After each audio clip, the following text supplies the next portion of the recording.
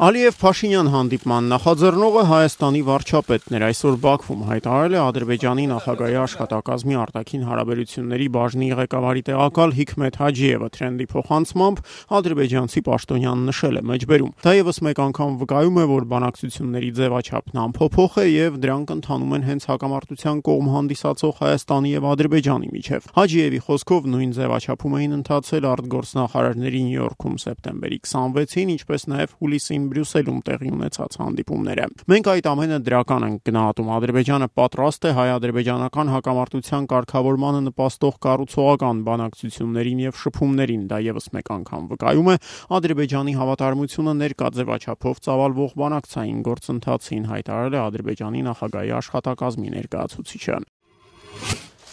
Վաշինգտոնը, Օտտավան եւ Մեխիկոն շուրջ 1 տարի տևած բանակցությունների արդյունքում համաձայնության են եկել ազատ առևտրի գոտու վերաբերյալ նոր պայմանագրի շուրջ։ Այս մասին անցած գիշեր հայտարարեցին Կանադայի արտգործնախարար Քրիստի Ֆրիդլանդը եւ Միացյալ Նահանգների առևտրի հարցերով ներկայացուցիչ Ռոբերտ Լայթհայզերը։ Միացյալ Նահանգներ Մեքսիկա-Կանադա կոչվող այս նոր համաձայնագիրը փոխարինելու է 1992-ին կնքված Հյուսիսային Ամերիկայի ազատ առևտրի մասին համաձայնագրին նավթային, որն արժանացել էր Միացյալ Նահանգների նախագահ Դոնալդ Թրամփի կոշտ քննադատությանը։ Նոր համաձայնագրով ամերիկացի ֆերմերները հնարավորություն կստանան իրենց արտադրած կատնամթերքն արտահանել կանադական շուկա։ Բացի այդ, կողմերը համաձայնել են, որ երեք պետությունների տնտեսվարողների միջև ցակող վեճերը պետք է հանգուցալուծվեն հատուկ արբիտրաժային դատարանում։ Բանակցությունների ընթացքում Վաշինգտոնը կտրականապես դեմ էր հանդես գալիս դատական նման ատյանի գոյությանը։ Սա լավ օր է Կանադայի համար մեկնաբաներով ձեռք բերված պայմանավորվածությունները հայտարարել է Կանադայի վարչապետ Ջասթին Տրյուդոն։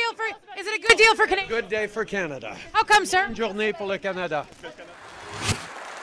Մեծ Բրիտանիայի ֆինանսների նախարար Ֆիլիպ Համոնդի համոզմամբ բրիտանական տնտեսությունն ի վիճակի կլինի դիմակայել այն բոլոր խնդիրներին, որոնք կծագեն, եթե Լոնդոնը եւ Բրյուսելը չկարողանան սահմանված ժամկետներում համաձայնության գալ երկրի Եվրամիությունը լքելու պայմանների շուրջ։ Դրա հետ մեկտեղ Համոնդը կոչ է անում չմոռանալ, որ բրիտանական տնտեսությունը լուրջ կախվածություն ունի նախ եւ առաջ եվրոպական շուկաներից։ Եվրոպան շարունակում է մնալ մեր ապրանքների հիմնական շուկան եւ բրիտանական տնտեսությունը Եվրամիությանն անդամակցության 45 տարիների ընթացքում ձևավորվել է հենց այդ փաստից ելնելով։ Եվրոպական շուկան պետք է շարունակի հասանելի լինել մեր գործարարների, նրանցից կախման մեջ գտնվող աշխատողների համար, հայտարարում էր Մեծ Բրիտանիայի ֆինանսների նախարարն այսօր Բիրմինհեմում պահպանողական կուսակցության ամենամյա համագումարի ընթացքում հնչեցրած ելույթում։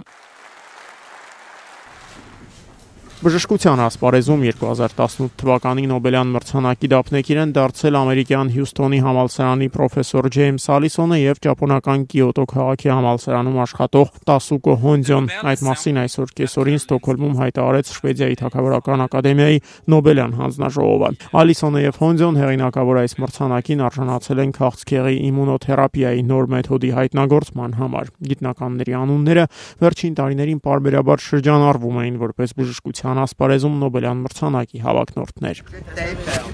Ադրբեջանի մայրաքաղաք Բաքվի արվարձաններից մեկում գնացքի եւ մարդատար ավտոբուսի բախման հետևանքով առնվազն 1 մարդ զոհվել է եւս 34 մարդ տարբեր աստիճանի վնասվածքներ են ստացել։ Ադրբեջանական աղբյուրները փոխանցում են, որ տուժածների մի զգալի մասը դպրոցից տուն վերադարձող անչափահասներ էին։ Պատահարի արդյունքում արձանագրված միակ զոհը 13 տարեկան տղա է, հաղորդում է Trend գործակալությունը։ Նույն աղբյուրի փոխանցմամբ ավտոբուսի վարորդը կոպտորեն խախտել էր երթևեկության կանոններն, անտեսելով մոտեցող